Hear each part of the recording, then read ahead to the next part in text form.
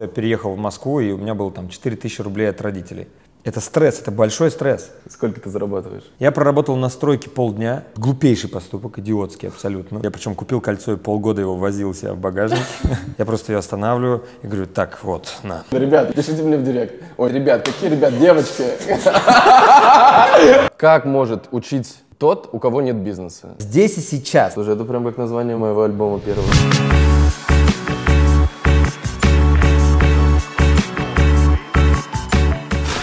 Друзья! Сегодня я иду брать интервью у Михаила Дашкиева, у основателя бизнес-молодости. Задам ему все вопросы, которые интересуют людей, которые так или иначе сталкивались с бизнес-молодостью. В чем феномен этой компании, почему тысячи людей пляшут на их тренингах, э, как они познакомились с Петей Осиповым, с чего вообще все началось. Короче, ответим на все вопросы. Смотрите, будет интересно. Так, друзья, с нами Михаил Дашкиев, бизнес-молодость. 600 тысяч запросов в Яндексе «Бизнес-молодость», сотни тысяч людей, которые прошли бизнес-тренинги «Бизнес-молодости», или уже, может быть, даже миллион, нет? Нет еще пока? Много. Много людей. Миш, расскажи в трех предложениях, что такое бизнес-молодость. Бизнес-молодость — это бизнес-тренинги, живые, где участвуют несколько тысяч человек. Это образовательная онлайн-платформа, где тоже учатся тысячи человек. Это софты, сервисы, Плюс это ряд таких уже проектов из области хобби, как, например, там поселок, или, например, блокчейн-проект, или э, какие-то там благотворительные проекты. Это такая большая движуха, которая выстроилась вокруг нашей идеологии. Мы растем, мы в прошлом месяце сделали рекорд, 139 миллионов. Это что? Это выручка? Выручка, да. А прибыли сколько? 35. Вау, это огонь. Мы находимся в покупке долей там, больших компаний, поэтому идем с трудом, очень больш, с большим трудом. Например, мы вложили деньги в Вилгуд. Это сеть автосервисов, их уже 80 штук. Сейчас 25 новых откроется еще. Сколько ты зарабатываешь?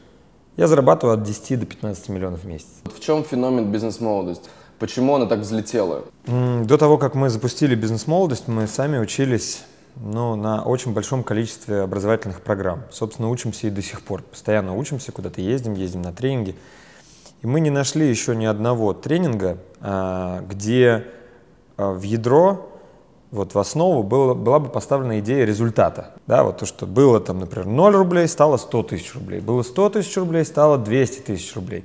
Это легло в основу философии. Когда сосед видит, как его сосед вдруг покупает новую машину или переезжает в новую квартиру, это как минимум вызывает интерес. Ровно как и обратную штуку, что все пытаются, ну, как бы не понять или не согласиться с этим явлением. Вот. Результат, короче, слово результат. Как может учить тот, у кого нет бизнеса? То есть вот есть бизнес-тренеры, есть бизнесмены, бизнес-тренеры там что-то какой-то развод. Вот что ты на это скажешь? Ну, действительно, тот, у кого нет бизнеса, учить не может ну, тому, как, как там зарабатывать деньги. А у нас бизнесы есть, и другой вопрос, что основным проектом, основным локомотивным действительно является бизнес-молодость. Это тоже бизнес, причем очень прибыльный бизнес.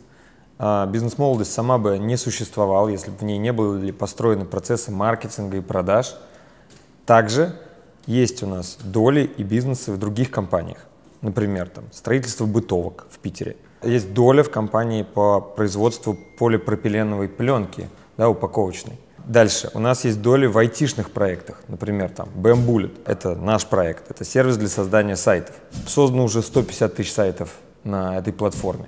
Другой вопрос, что этот, эти проекты не являются нашим основным проектом. Но каждый из них в отдельности зарабатывает больше, чем многие бизнесы тех, кто называют это бизнесом. Да, смотри, но это же было так не всегда. Как раз до этого был очень прикладной опыт в бизнесах, потому что до бизнес-молодости я начинал с того, что я работал там продавцом, потом маркетологом, потом там руководителем, а затем мы начали делать сайты, у нас появилась там веб-студия, да, это не назовешь каким-то особо крупным бизнесом, да, потом это переквалифицировалось в рекламное агентство, в маркетинговое агентство, и мы как раз достаточно много погружались в бизнес реального сектора. Э, я ездил вместе с продавцами на встречи, продавал сантехнику, ванны. Мы ездили в гостиницу «Старый замок» в Рязани и раскручивали гостиницу. Мы раскручивали оконную компанию. Это сколько тебе раскручивали работали? цветочную компанию. Это было 10 лет назад. Я еще был тогда совсем молодой. Тебе да. сейчас 30? Мне сейчас 30, да. 30, Мне было 20 20 лет. лет. Потом мы открыли свой цветочный бизнес и свой светодиодный бизнес. Тогда родилась бизнес-молодость. Почему так произошло? Почему у вас получилось, а у других не получается? Благодаря чему? Мы работали над собой а, и до сих пор работаем. И у нас же не получается а, большинство вещей. 97% всего у нас не получилось. Объем того, что, в чем мы накосячили, объем того, где мы слили деньги, приняли неправильное решение. То есть ошибок огромное количество. Но эти ошибки нас не останавливают.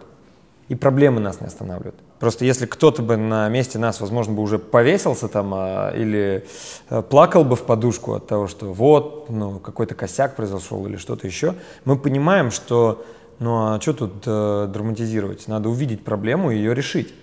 И мы решали проблему за проблемой, проблему за проблемой. Результат никогда не получается сам по себе. Это никогда не везение. Это никогда не случайность, и ты сам это понимаешь. Мы вопрос такой задавали. Окей, есть результат, что на этот результат влияет? Вот мы задавали все время такой вопрос. Что мешает результату сейчас? И что убрать? И что влияет на результат? И что нужно усилить? То есть мы 7 лет искали системные ошибки в своей структуре и точки роста. И давили и на то, и на то. И, видимо, это принесло какие-то плоды. Слушай, а, а вы поставили цель э, самолет? Да, Лич... мы решили купить джет. Личный брендированный самолет. Да. И благотворительность. Как, да. Расскажи, как это было, зачем вы это сделали и насколько вы близки уже к этой цели? Мы начали анализировать, что у нас происходит, когда а, мы растем. Мы тогда поставили себе цель самолет – а купить это то, что просто вот глупейший поступок, идиотский абсолютно. Ну вот, а потом мы узнали, сколько стоит слетать в Чебоксар, оказалось 3,5 миллиона рублей. На самолете, Да, да, да. Но мы поняли, что факт самолета на самом деле, вполне возможно, что купив его, мы его продадим потом тут же. С другой стороны, мы понимаем, что когда-то я думал, что вот бизнес-класс, например, в бизнес-классе слетать за 200 тысяч – это полный идиотизм. Точно так же, как сейчас я думаю про 3,5 миллиона рублей. С другой стороны, это ограничение в моей голове. Тот факт, что мы слетаем в Чебы за 3,5 миллиона рублей, будет означать, либо мы идиоты, либо мы создали компанию и создали объем, где эта цифра считается нормальной. Значит, это первое. Это вы поставили для того, чтобы сделать большой результат. Конечно, для того, чтобы сделать большой сколько, результат. Сколько самолет стоит? Вот, вот мы сейчас смотрим, у нас сейчас куча вариантов разных. Они стоят от 100 миллионов рублей до 500 миллионов рублей. Сразу скажу, это не так просто. В связи с, купить самолет. Да, купить самолет. Э, мы решаем сейчас этот вопрос, откладываем деньги на этот самолет. Если у вас есть самолет, это не значит, что вы богаты, может быть, вы копили на него. Ну да. Так, когда дедлайн? Когда вы должны купить? Э, по-моему, это август в августе 2018 года, да, то есть у вас, в принципе, еще есть там, ну, почти год. Ноябрь, декабрь. Январь, февраль, март, апрель, май, июнь, июль. Самое интересное, на самом деле, э, большинству людей, это то, как, вот, как, как ты начинал, вот этот вот момент. И второе, это именно собственный бизнес, как он начинался, были ли страхи какие-то, как вот у тебя? Конечно, огромное количество неудач, страхов и преодолений. Как я начинал? Я начинал с того, что я переехал в Москву, и у меня было там 4000 рублей от родителей. Вот это было... Ты из Чебоксар? Я из Чебоксар, да. Это были деньги моих родителей, а у них было денег не так много, надо было срочно что-то менять. Первая надбавка, это была там Оксфордская стипендия, которую я отыграл в университете за активность, за все. Еще плюс 6 тысяч рублей. Это было очень чудо. Это 6 тысяч в месяц? В месяц, в месяц, да, в месяц за мои там активности. То есть 4 тебе родители каждый месяц отправляли и 6, и 6 стипендий? Да, но как только начались 6, 10. нет, а. сразу 4 отменилось. И тогда я зарабатывал дополнительные деньги, потому что мне хотелось там э, гулять с девочкой не только в ГУМе, чтобы было тепло и все, да, даже не, не есть нигде.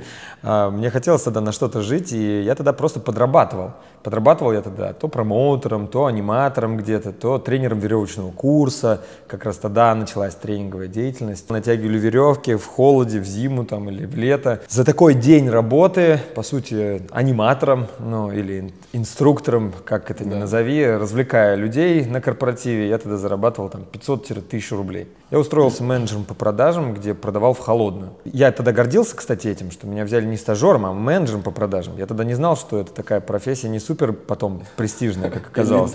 Да. Но я, кстати, очень рад, что я начинал с профессии менеджера по продажам, потому что я научился продавать тогда и говорить. Меня посылали куда подальше, там, по телефону. Я весь перетрясся тогда. Алло. Алло! Михаил Геннадьевич, там молодой человек стоит. Ну? Он, он с вами договаривался о встрече. Кто вообще? Василий Печушкин. Василий Пичу- Супер кирпичи. Печушкин. Не было никто у меня! Это было очень страшно. Платили мне тогда 12 тысяч рублей. 12 тысяч рублей, причем за выполнение плана. Потом меня переманили в другую компанию. На собеседовании меня спросили, сколько ты хочешь зарабатывать. Я рискнул и сказал 52 500. Да, потому что... Это очень дерзко было. Да, потому что, проходя тренинг тогда, я поставил себе цель. Там был тренинг, где мы ставили цели. Я поставил себе цель, что вот через год я буду зарабатывать полторы тысячи евро, и я стану начальником. И удивительно, но сработал. То есть, и мне начали платить 52 500. Я тогда почувствовал себя богачом, потому что это такой толстый конверт уже. Такие зарплаты мне платили, о, это же... Я, конечно, баловень судьбы. Ну, по сравнению с конвертом, где вообще ничего не прощупывал. Потом я уже повышался, повышался, брал уже сопутствующие проекты. А, Они слышали, что я маркетолог, мои там друзья, знакомые обращались ко мне, а можешь помочь нам с сайтом? Я сам не программист, я не умею программировать. У меня есть друг Петрович, мой э, одноклассник, он программист. И, собственно, мы вдвоем Как в удачно. паре, да. Я продавал, как отец рубит, а я отвожу. Сначала мы сделали сайт той самой компании, которая делали веревочные курсы. Да. Говорили всем, что это один из наших последних проектов, хотя это был наш единственный проект. Но я им очень гордился, потому что я вложил в него душу. Потом мы сделали сайт для конной компании, тогда мы открыли лендинги. Ну, их давно уже придумали в Америке, но мы Да. про это не знали. Мы продали тогда сложный сайт, я научился уже продавать к тому времени. Там за миллион шестьсот была общая бюджет Вау. этого проекта, это был большой успех. Один сайт вы сделали за миллион шестьсот. Не сделали, продали. Ну, продали. Не, ну вы сделали его? Ну, Сейчас ну, я то тебе расскажу. Это было так. Мы сделали большое коммерческое предложение, мы сделали анализ всех конкурентов и в трех версиях. Как это вот а, эконом попроще, вот а, базовый вариант такой и VIP там, платинум. Но он сказал нам следующее. Вы можете, окей, окей, говорит, давай за миллион шестьсот, но это будет делаться же три года там все. Ну, ну, в смысле не три года, а долгий проект, почти длиной в год. Мы можем, говорит, что-то быстро сделать, быстро, говорит, за две недели. Мы сделали простейший одностраничный сайт. Мы врубили этот сайт и поперли заявки. Это было таким феноменальным открытием, потому что вдруг поперли заявки по 20 в день против одной в день. Нам говорят, ну молодцы ребята, вы настоящие профессионалы. И нам нужно было удерживать э, неудивленное лицо, типа, ну да, вот мы же профессионалы, но, но мы тогда просто охренели, ни хрена себе. Тогда, по сути, мы изобрели велосипед. Тем самым мы нащупали лендосы, ну, Да. лендинги. Тогда мы еще не понимали, что это лендинги, тогда мы еще не пон- ну, мы понимали, что это то твердое, что дает результат. У вас не было там, вот сейчас самые популярные вопросы. У вас не было ИП там, ООО? Было, было, а, было. было, да? Нет. Когда ты решил, что типа, блин, вот пора уже ИП, вот надо уже... После того, как я уволился с работы в 2008 году. Тогда уже надо было как-то... А почему ты уволился с работы? Было уже 52 500 или уже больше даже? Уже было 100. Уже было 100, 100 тысяч. С подработками все 150, а некоторые стреляли вообще крупные проекты, потому что я абсолютно впрямую говорил, я еще параллельно занимаюсь проектами. Тогда мы уже зарабатывали деньги на сайтах, Да. на маркетинге, на услугах, на рекламе.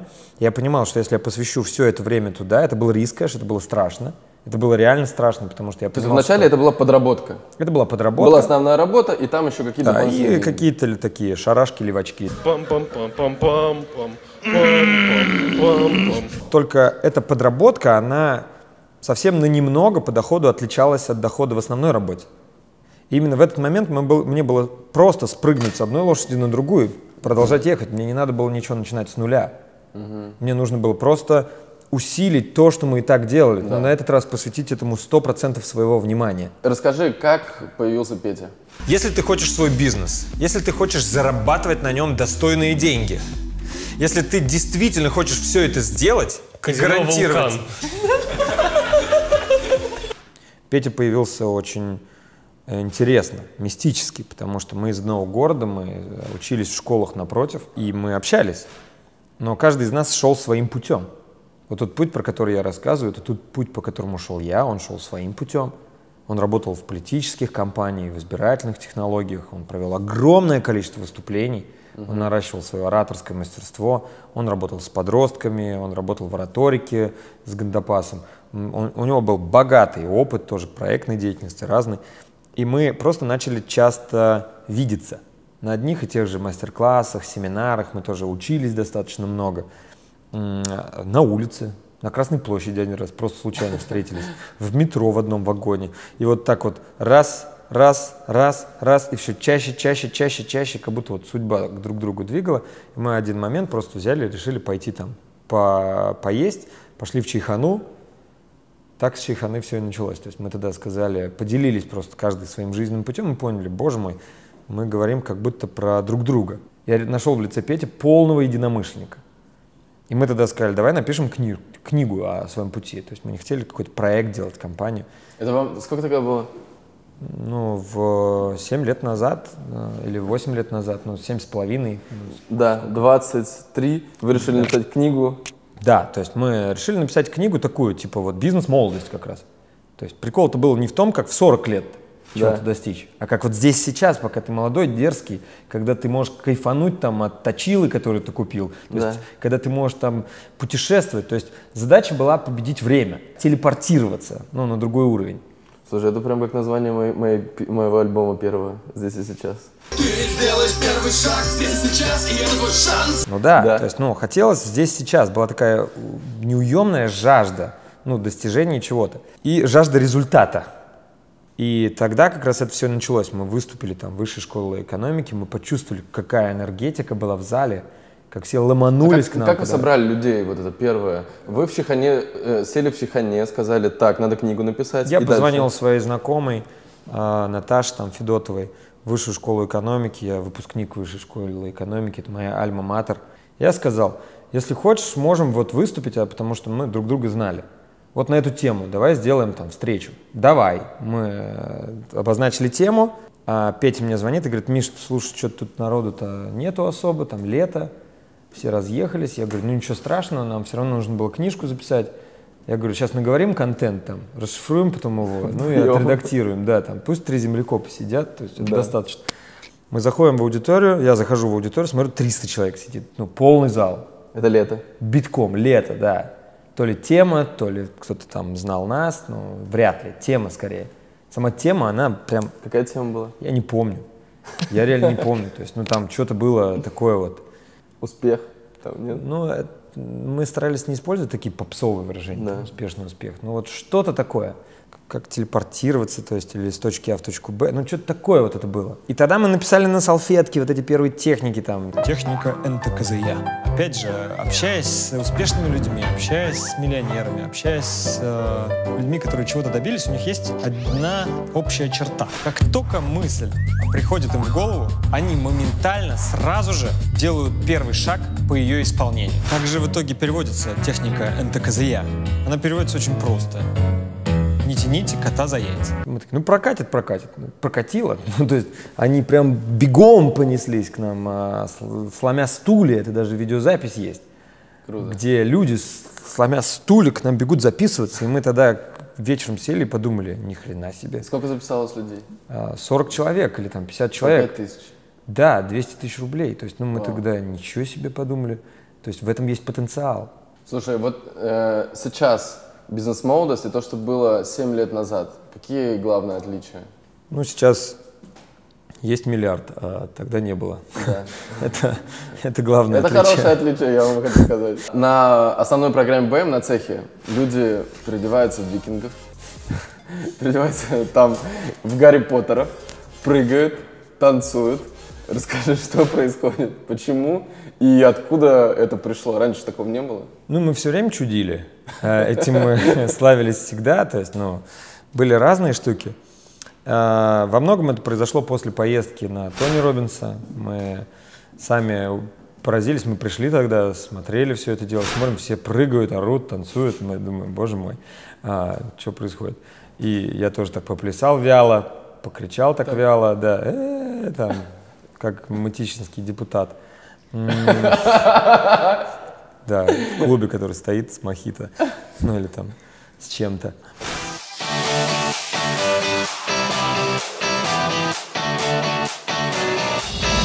А потом я понял, что это нужно не просто для шоу, что это держит уровень энергии, раз, и драйва два, что скучно сидеть и просто записывать лекцию, на результат то, что выглядит как такое вот серьезное обучение не влияет. Если мы что-то делаем в бизнес-молодости, значит это, по нашему мнению, влияет на результат прямым образом. Когда мы поняли, что есть такая штука, как боевой дух, потому что два месяца в цехе – это очень сложно. Надо запускать сайты, надо продавать, надо выполнять задания, надо ставить себе цель на неделю, в деньгах причем, в деньгах. Это стресс, это большой стресс. Если бы мы не создавали к этому стрессу драйв, фан, юмор, э, энергию, люди бы просто не выдерживали.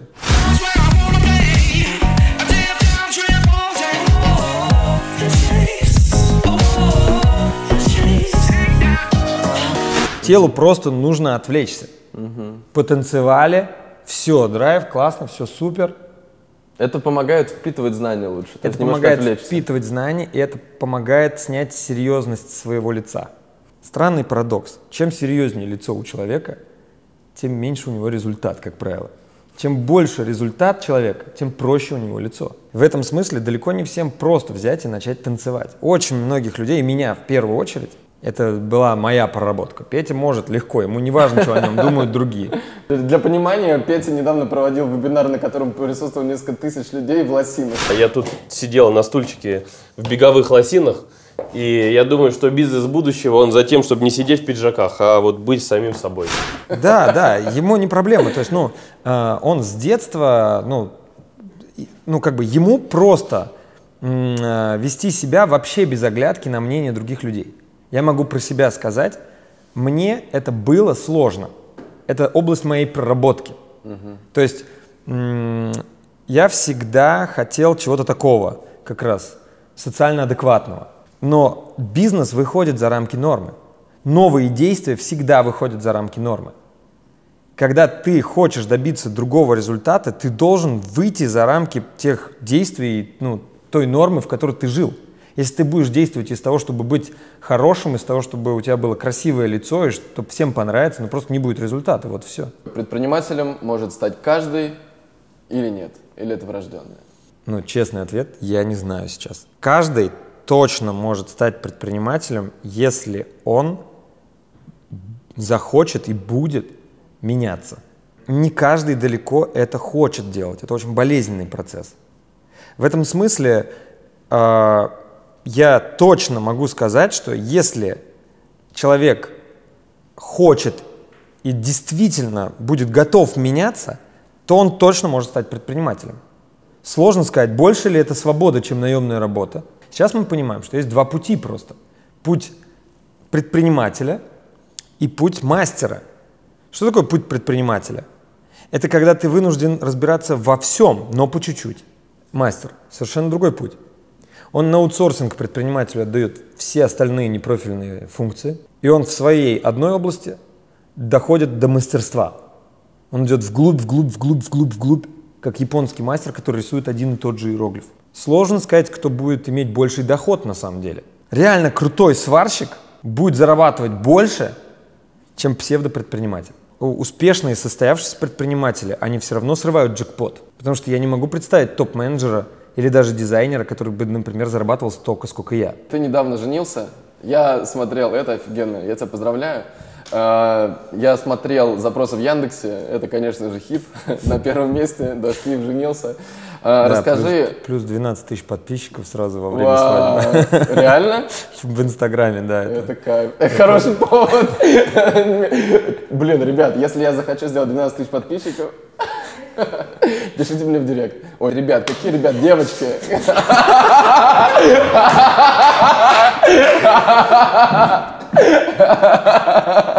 Короче, ты недавно женился, расскажи, первое, почему так долго, сколько времени прошло? Шесть лет. Шесть лет вы встречались. Второе, как ты все-таки принял решение, почему вот, ну, типа, именно сейчас, почему не два года назад, почему не через пять лет?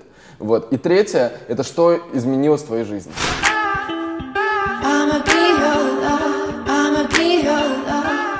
Да, это очень хорошая новость, и я очень счастлив по этому поводу, это было прикольно.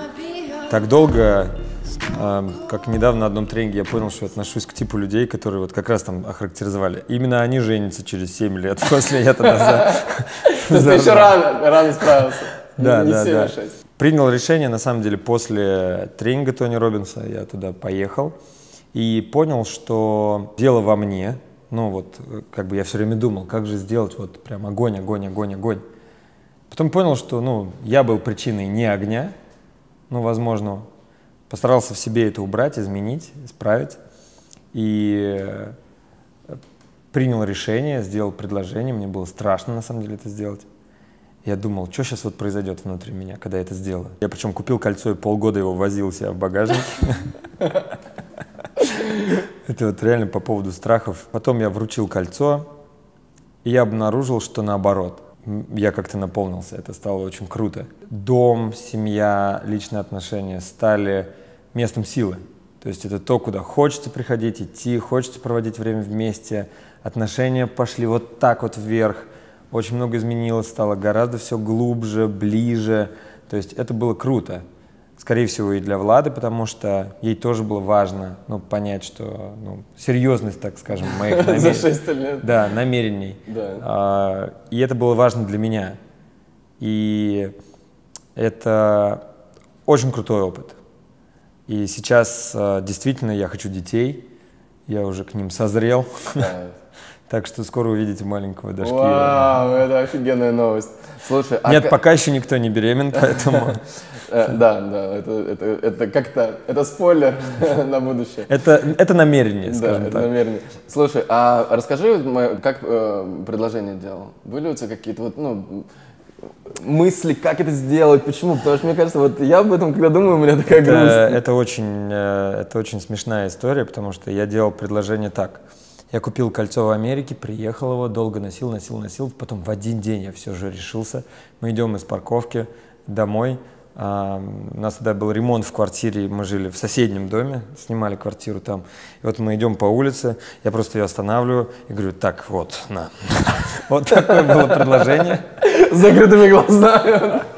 Да, супер неромантичное. Да. Но потом, когда я организовал свадьбу, а, ну, мы организовывали свадьбу, там, а, причем у нас было две свадьбы, одна в Чебоксарах, другая там в Италии, а, я решил, что все-таки непорядок, что вот так погано я сделал предложение, я сделал предложение номер два. Мы Да. тоже выходили из парковки, и там у меня был... Ты у всё- отобрал кольцо и заново, или как? не-не, мы тоже выходили из-под парковки, и там я организовал как раз процесс э, романтичный.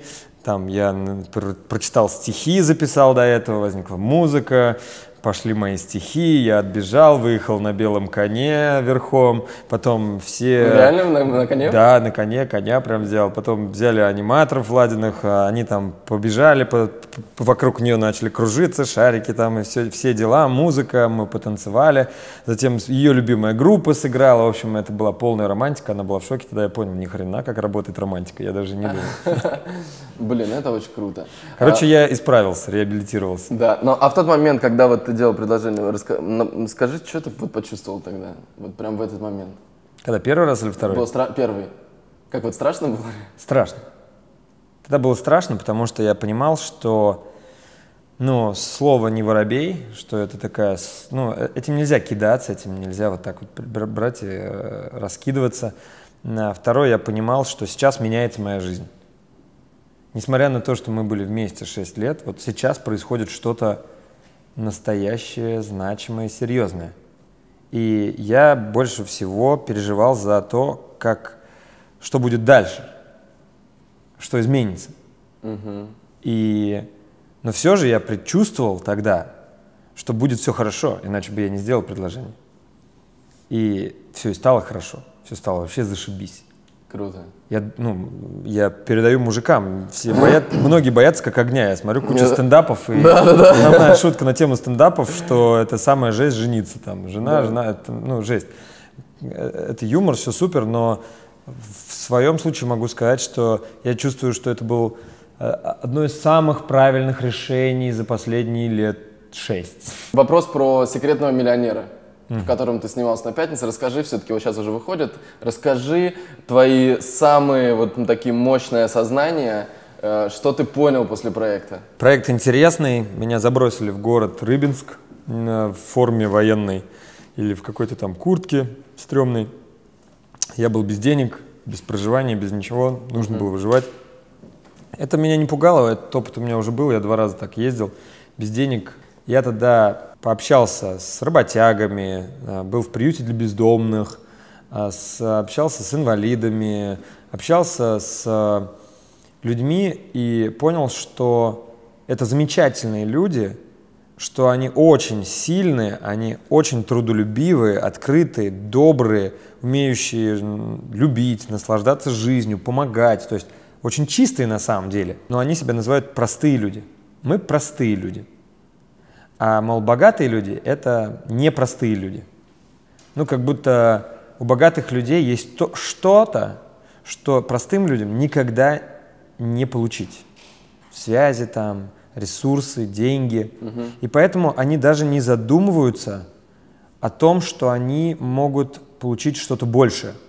Я проработал на стройке полдня, чуть не умер вообще от э, напряжения. То есть мы таскали плитку там эту с пола, керамогранит, вывез, наверное, 50 тележек этого керамогранита тяжелого там перекидал. У меня болели ноги жутко. Я получил 500 рублей. 500 рублей. А, ребята купили мне мороженое за 100 рублей. Из этих 500. Нет, они понял. угостили меня мороженым. Я понял тогда, это мороженое за 100 рублей из вот этого 500 рублей. То есть это была одна пятая часть адского труда. И тогда я понял, что у ну, так называемых простых людей просто нету идеи, что они могут реально достичь чего-то большего. То есть есть понимание, то, что вот это наша жизнь, вот этот путь нам уготован, научимся радоваться в этих рамках. А то, что можно учиться, развиваться, то, что можно чего-то достичь, что их качеств будет достаточно, им не нужно суперобразование, им не нужно ничего, им просто нужно открыть голову, научиться там, пойти на БМ, я многих там на БМ отправил оттуда, ну, подарил им БМ. Да. А, и просто взять и сделать то, что говорят, и жить не на 20 тысяч рублей в месяц, а на 200 тысяч рублей в месяц, что гораздо веселее. Вот эта идея в голову не приходит. Это благотворительный проект, вообще секретный миллионер. И ты там помогаешь людям. И меня судьба абсолютно случайно, я туда ехал и говорил, так, только вот хочу помогать э, хорошим, классным, красивым таким проектам, э, прикольным, но только вот без э, жести, без жести. Главное, чтобы не инвалиды и не бомжи, не инвалиды и не бомжи. И у меня и инвалиды, и бомжи. То есть я ночевал в приюте для бездомных, я понимал, как люди становятся бомжами, и понял, что это тоже не веселая история. А, мне прям было интересно, как так получается, что человек... Очень много людей с высшими образованиями. Это люди, у которых ломается жизнь, но их силы внутренней не хватает для того, чтобы справиться с этими проблемами. Они попадают на улицу, где им становится холодно, голодно и грязно. Кто-то им протягивает рюмку, чтобы просто забыться, и все. И самое главное, я понял, что этот процесс можно повернуть вспять. И смотрите, там, «Секретный миллионер» на пятнице, найдите там а, в, в интернете эту передачу. А, я понял, сколько энергии я получаю за свой миллион, если этот миллион создает крышу над головой, где теперь никто больше в городе не замерзнет зимой. Вот когда ты понимаешь, что твой миллион превращается не просто там в часы, а когда твой миллион это конкретная крыша или конкрет, конкретный подъемник для инвалида, который ну, его жизнь улучшает. И это же не значит, что теперь мне нужно снять пиджак там себя, все распродать. Этого не требуется. Наоборот, я не собираюсь понижать свой уровень жизни. Я собираюсь повышать свой уровень жизни, но существенную часть своего дохода я уже раньше и буду еще большую часть тратить на благотворительность, наблюдая эту благотворительность сам. Я понял, что это причина для меня, чтобы развиваться и становиться богатым. Кайф. Это офигенно. Да, и последнее. Э, как это? У нас есть такая рубрика. Э, ребята, у нас рубрика прямо сейчас, вы помните о ней. Э, Миш, давай от тебя. Прямо сейчас, вот ты сказал про простых людей, про то, что у них нет мысли, да, что можно жить по-другому. Скажи, вот что ребятам, которые нас смотрят, прямо сейчас надо сделать, вот прямо сейчас надо сделать, чтобы не- хотя бы на шаг стать ближе к э, большим деньгам, к большим доходам, к предпринимательству, может быть. Для этого а, тем людям, которые хотят, которые вот какая-то искра у которых горит, чтобы на шаг стать ближе к большим доходам и к предпринимательству, нужно в свою голову загрузить примеры, мышление, идеи, то есть начать смотреть видео, начать читать статьи, начать смотреть кейсы, начать знакомиться и попадать в окружение с теми людьми, которые уже делают результат. Причем не надо брать каких-то мастодонтов и олигархов. Нас а, не так вдохновляют примеры людей из Forbes. Мы себя с ними не ассоциируем слишком далеко, хотя, безусловно, они вызывают большого уважения. Но вас действительно вдохновит пример соседа с вашего двора, который заработал первые 50 тысяч. Мой брат, например, двоюродный, сейчас проходит цех. Он уже заработал 100 тысяч рублей. Он никогда не зарабатывал 100 тысяч рублей. Он зарабатывал максимум 30. И я уверен, что этот пример вдохновляет его друзей гораздо больше, чем Элон Маск или там, чем, э, чем я, например. То есть, ну, нужно впитывать. Я бы читал сайт БМа. Я бы действительно смотрел видео. Ну, сейчас очень много крутых видео о бизнесе. Там, твой блог, Дима Портнягина, там, а, а, наши видео в БМе. То есть, ну, очень много, очень много сейчас идет предпринимательский бум. Надо быть к нему открытыми. Надо понимать, что развиваясь, ну, вы действительно становитесь на шаг ближе, просто когда вы открытые. Потому что модно в нашей стране говорить, что «а я вот нигде не учился». Ну, зашибись, красавчик. Короче, ребят, прямо сейчас посмотрите три видео в интернете про людей, которые с нуля добились какого-то дохода. Просто в Яндексе или там или на Ютубе сами забейте, посмотрите, вот на, найдите сами этих людей и попробуйте посмотреть на это не э, как бы не, не со стороны, типа, блин, да там все проплачено, это все там актеры, а попробуйте поверить в это и действительно понять, почему у этого человека получилось, а у вас пока не получается. Смотрите такие видео, читайте книги, и ваша жизнь станет лучше. Спасибо, Миш, это офигенски.